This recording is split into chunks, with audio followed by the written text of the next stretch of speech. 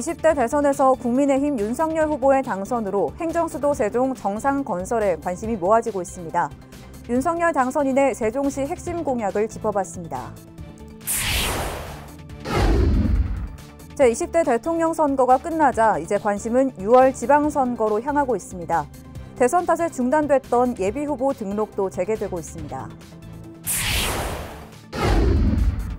아산 강변 테니스장 보수가 2년째 보류되면서 현재 코트 절반 가까이를 사용하지 못하고 있습니다. 잦은 침수 피해에 결국 아산시가 대체 부지 마련에 나섰습니다.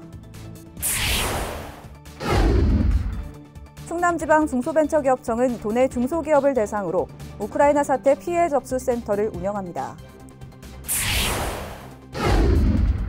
지난해 12월 전국 광역자치단체 가운데 최초로 유니세프 아동 친화도시 상위 단계 인증을 획득한 세종시가 인증 선포식을 열었습니다.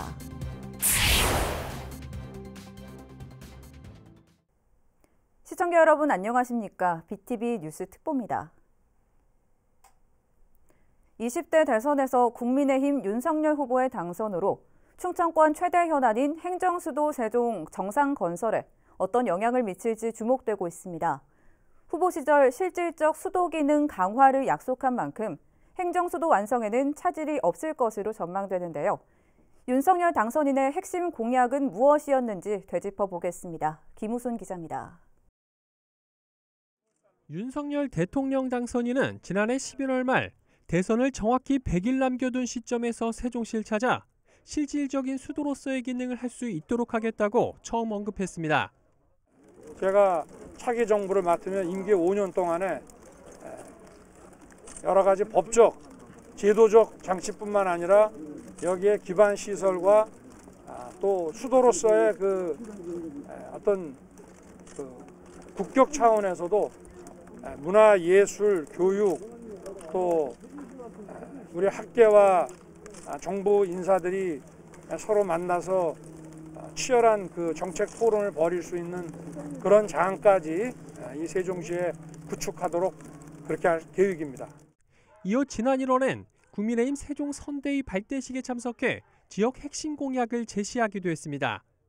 대통령 세종 제2집무실 설치와 국회 세종의사당 조기 건립을 비롯해 충청권 광역철도망 조기 건설, 대전 세종 경제자유구역 지정, 국립 중입자 가속기 암치료센터 설립, 세종 디지털 미디어 센터 건립, 글로벌 청년 창업 빌리지 조성, 대학 세종 공동 캠퍼스 조기 개원 등 모두 7가지의 구체적인 공약을 내놨습니다.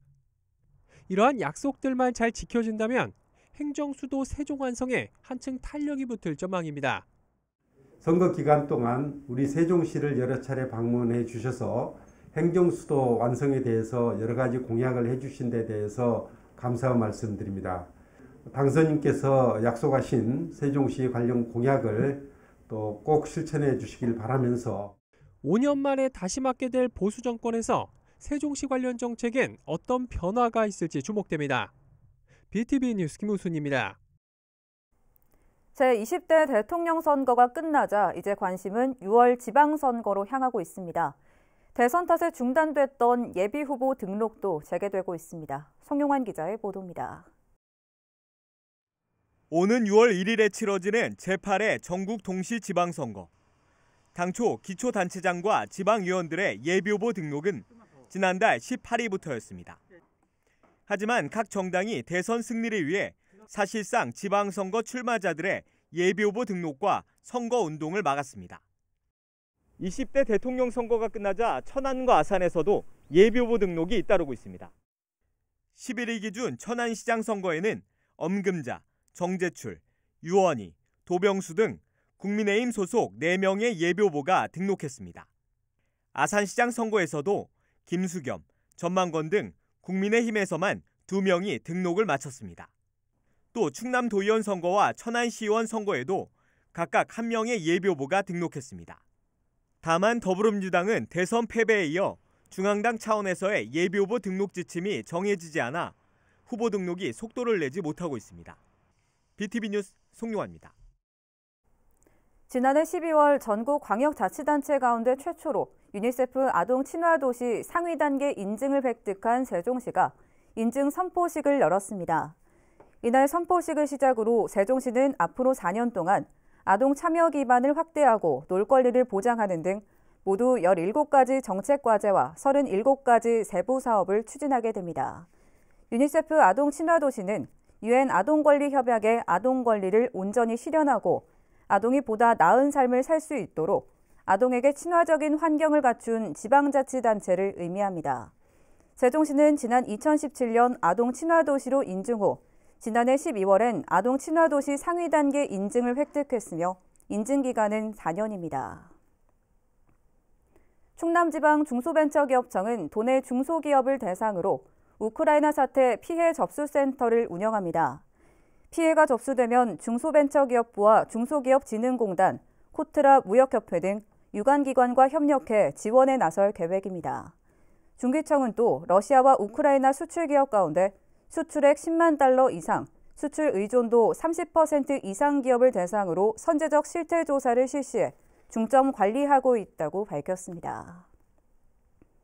천안시가 코로나19 장기화에 따라 공유재산 임대료 감면 기간을 1년 연장합니다. 대상은 SB플라자와 청년몰, 종합복지관, 체육시설 등 시 공유재산을 임차해 사용하고 있는 자영업자와 소상공인입니다. 최대 감면 금액은 연간 2천만 원입니다. 시는 지난해에도 모두 145건 4억 5천만 원의 임대료를 감면했습니다. 2년 전 침수 피해를 입은 아산 강변 테니스장 보수가 보류되면서 현재 코트 절반 가까이를 사용하지 못하고 있습니다. 하천 지역에 있다 보니 또다시 침수 피해가 우려되기 때문인데 결국 아산시는 대체 부지 마련에 나섰습니다. 보도에 김장석 기자입니다. 아산 강변 테니스장입니다. 일부 코트 바닥이 울퉁불퉁해졌고 심지어 갈라진 곳도 있습니다. 지난 2020년 내린 집중호우에 국교천이 범람하면서 테니스장이 망가진 겁니다. 2년 전 입은 침수 피해로 인해 10개 코트 중 절반가량에서는 정상적인 경기를 할 수 없는 상태입니다. 보수가 필요하지만 문제는 테니스장이 상습 침수 지역인 하천변에 있다는 것. 수천만 원이 넘는 예산을 들여 보수를 하더라도 또다시 피해를 입을 우려가 큽니다. 이에 아산시는 다른 부지의 테니스장을 새로 조성하는 것이 효율적이라 판단해 보수를 보류하고 대체 부지를 마련하기로 했습니다. 대체 부지는 천안 아산 간 고속도로 하부 공간을 활용할 계획으로 시는 한국도로공사와 협의에 나설 계획입니다. 또한 장기적으로는 도고 스포츠타운에 테니스장 10면을 조성하기로 했습니다. 다만 스포츠타운의 경우 사업 초기이고 고속도로 하부 공간의 경우 협의가 필요해 빠른 시일 내에 새로운 테니스장이 조성되기는 어려운 만큼 테니스 동호인들의 불편은 장기간 이어질 전망입니다. BTV 뉴스 김장섭입니다. 천안시가 오는 5월 문을 열 청년센터의 별칭을 이음으로 확정했습니다. 시는 지난달 18일부터 이달 1일까지 천안시 2030 청년복지센터 홈페이지에서 별칭을 공모하고 선호도 조사 결과 이같이 결정했다고 밝혔습니다. 이음은 소통과 교류의 장이 될 청년센터와 청년을 잇는다는 뜻을 담고 있습니다. 한편 오는 5월 문을 열 청년센터 이음은 커뮤니티룸과 스터디 카페, 휴게 공간 등으로 구성되어 있습니다. 최근 완공된 세종 전통시장 주차타워가 11일부로 전면 운영에 들어갔습니다. 이 주차타워는 기존의 노후된 주차 건물을 철거하고 국비 36억 등 총 사업비 101억 원을 들여 지상 5층 차량 150대가 주차할 수 있는 규모로 건립됐습니다. 또 이곳에는 전기차 충전소 2면과 주차 감지기, 안심벨 등의 설비도 갖추고 있습니다. 세종시는 이번에 건립된 주차타워가 세종 전통시장 활성화와 더불어 인근 주차난 해소에 큰 도움이 될 것으로 기대된다고 밝혔습니다. 세종시가 소기업이나 소상공인을 대상으로 하는 방역 물품비 지원 사업 2차 신청 기간을 오는 25일까지 연장합니다. 신청 대상은 방역 패스 의무 대상에 해당하는 16가지 업종으로 신청일 기준으로 휴업이나 폐업 상태가 아닌 사업체여야 합니다.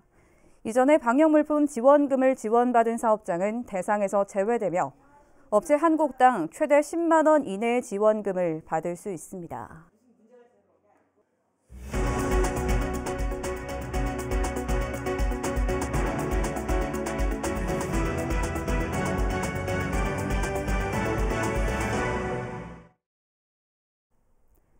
코로나19 확산으로 운영이 중단된 아산 코미디홀이 이르면 다음 달, 늦어도 상반기에는 다시 문을 열 예정입니다.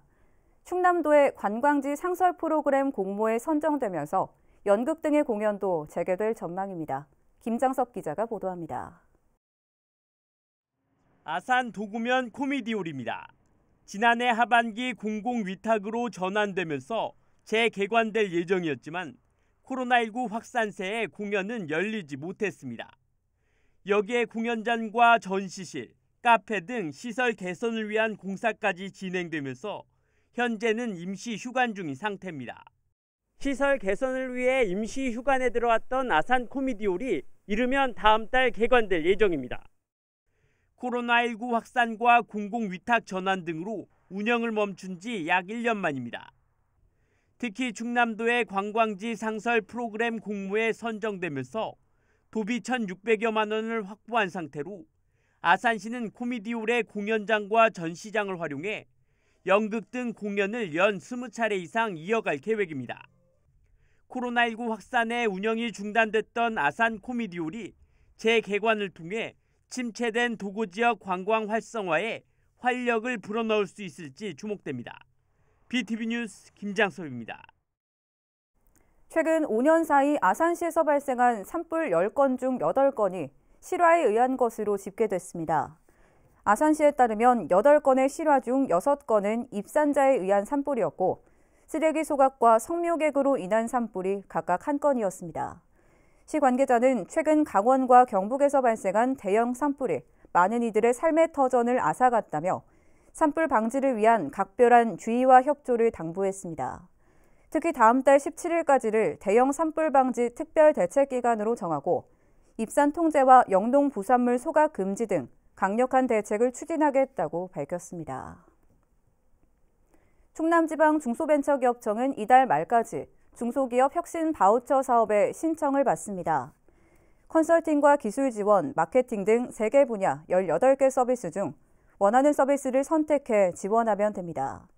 대상은 최근 3개년 평균 매출액 120억 원 이하의 제조 소기업이며 기업당 최고 5천만 원 한도에서 매출 규모에 따라 차등 지원됩니다. 세종시가 지난해 추진한 자치분권 특별회계 사업 가운데 주민 체감도가 높은 사업을 선정하기 위한 시민투표단 200명을 공개 모집합니다. 시민투표단으로 참가를 원할 경우 오는 16일까지 읍면동 주민센터에서 신청하면 되며 투표단으로 선정되면 오는 28일부터 닷새 동안 온라인 투표를 실시하게 됩니다. 시민 투표 결과는 전문가 심사 점수와 5대5 비율로 반영되며 고득점 순으로 순위가 결정돼 평가 결과에 따라 우수 읍면동에는 최대 1,200만 원의 인센티브가 주어질 예정입니다. 세종시가 이번 주부터 읍면동 22곳을 대상으로 시민주권대학 마을계획과정을 운영합니다.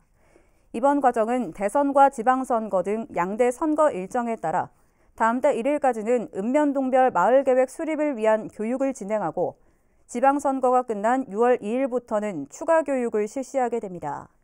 세종 시민이면 누구나 참여할 수 있으며 보다 자세한 사항은 해당 지역 읍면동 주민센터나 세종 사회적 경제 공동체 센터로 문의하면 됩니다. 한편 지난해의 경우 읍면동 20곳에서 735명의 시민이 마을 계획 과정에 참여했습니다.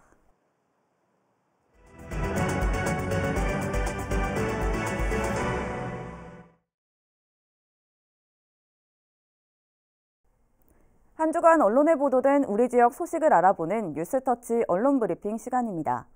세종시 산울 초중 통합학교 건립이 TF팀 구성과 함께 2025년 3월 개교를 목표로 나아간다고 디트뉴스24 이희택 기자가 보도했습니다.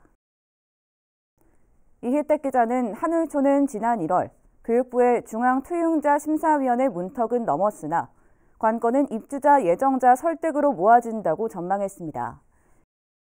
해당 통합구역에 속한 입주 예정자 모임은 원안대로 산울초중 분리학교 추진을 원하고 있다고 보도했습니다. 세종시 교육청은 7일 가칭 산울초중학교 통합 연계 모델 마련 TF팀을 구성하고 2025년 3월 정상 개교 추진을 본격화한다고 밝혔다고 전했습니다. TF팀은 단장은 부교육감, 팀원은 관련 부서장으로 구성하고 역할은 크게 세 가지라며 우선 지역 첫 통합학교 밑그림 위에 미래학교 모델을 제시하고 개교 시점까지 원활한 교육과정 지원안을 마련한다고 보도했습니다. 아산시가 장영실과학관 1층 어린이관을 어린이 과학 놀이터로 새롭게 단장하고 8일 재개관했다고 중부매일 문영호 기자가 보도했습니다. 시는 지난해 2021년 아산 장영실과학관 전시물 교체 및 제작 설치 사업을 통해 사업비 5억 원을 투입하고 1층 어린이관을 어린이 과학 놀이터라는 새 이름으로 단장하며 과학 전시물 교체를 추진했다고 전했습니다. 어린이 과학 놀이터는 유아와 어린이들이 기초과학 원리를 직접 체험하며 놀이 속에서 쉽고 재미있게 기초과학을 배울 수 있도록 기존 전시물 4개를 제외하고 전부 철거한 후 신규 제작 설치를 통해 지난 2월 마무리됐다고 알렸습니다. 아산시 관계자는 아산 장영실과학관은 2011년 개관해 약 178만여 명의 관람객이 방문했다며 개관 이후 처음 전시물을 교체하고 재개관하는 만큼 코로나19에 지친 관람객과 시민들에게 새로운 선물을 줄 수 있을 것으로 기대된다고 전했습니다. 천안시가 80억 원의 예산을 투입해 관내 노후 경유차를 대상으로 조기 폐차 3,000대, 저감장치 부착 949대에 저공해 조치 비용을 지원한다고 중부매일 송문용 기자가 보도했습니다. 조기 폐차 지원 대상은 신청일 기준 천안시에 등록돼 있고 최종 소유자의 소유기간과 대기관리권역에 등록된 기간이 6개월 이상인 배출가스 5등급 경유 자동차입니다. 또 2005년 이전 배출 허용 기준을 적용해 제작된 도로용 3종 건설기계, 덤프트럭 콘크리트 믹서트럭, 콘크리트 펌프트럭이 대상입니다. 보조금은 보험개발원에서 산정한 차량 가액표를 기준으로 총 중량 3.5톤 미만 차량은 최대 300만 원, 총 중량 3.5톤 이상 차량은 최대 4천만 원까지 받을 수 있다고 전했습니다. 2022년 상반기 지역 공동체 일자리 사업이 7일 참여자 모집과 함께 시작됐다고 디트뉴스24 이희택 기자가 보도했습니다. 이 기자는 세종시가 취업 취약계층의 생계 안정 및 자립화 도모를 위해 이 사업을 추진한다고 전했습니다. 올해 사업은 농산물 가공식품 제조를 위해 생산지 재배를 관리하는 지역 농산물 일자리 지원 사업 등 모두 10개입니다. 신청 대상자는 사업 개시일 기준 만 18세 이상 세종 시민 자격을 갖춰야 하고 2022년 보건복지부 고시 기준 중위소득 65% 이하, 재산 4억 원 이하 기준도 충족해야 한다고 전했습니다. 희망자는 오는 16일까지 신청서 등을 구비해 주소지 읍면 사무소 및 동주민센터에 방문해 접수하면 되며 전체 모집 인원은 37명, 선발자는 4월 1일부터 6월 30일까지 1일 기준 최저임금 9,160원을 받으며 일할 수 있다고 전했습니다. 이어서 우리 지역 구인 구직 정보를 알려드립니다.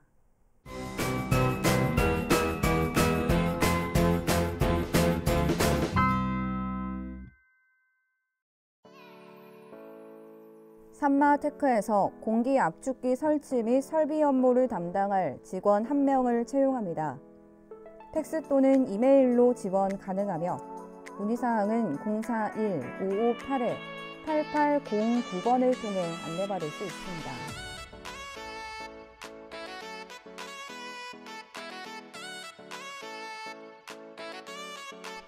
천안 국일고등학교에서 급식조리원 1명을 채용합니다.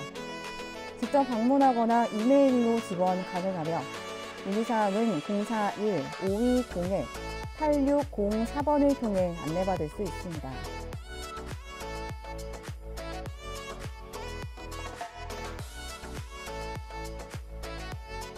HS에서 원단 생산 업무를 담당할 직원 2명을 채용합니다. 팩스 또는 이메일로 지원 가능하며 문의사항은 031-8054-8055번을 통해 안내받을 수 있습니다.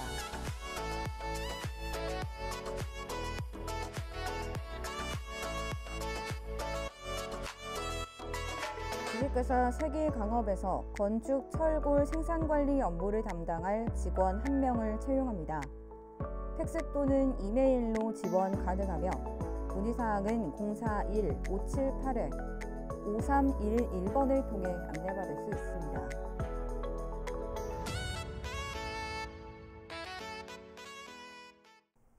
이상으로 BTV 뉴스 특보를 마칩니다. 시청해주신 여러분 고맙습니다.